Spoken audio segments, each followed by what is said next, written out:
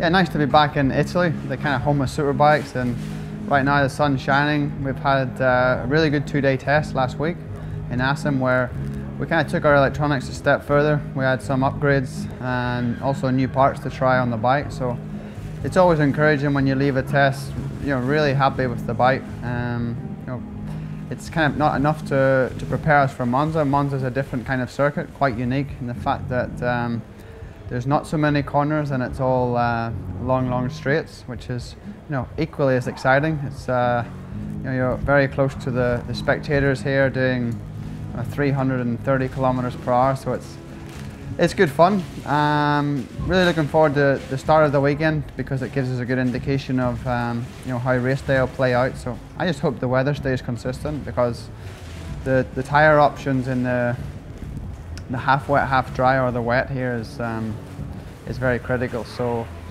I just hope to enjoy a good weekend and you know, hope I can do a good job. Uh, first ride to Monza. Uh, we got so uh, track this nice track.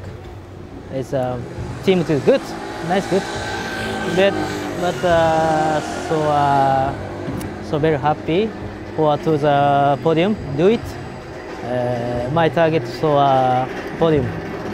Also very happy. Thank you. Maybe full gas. 全開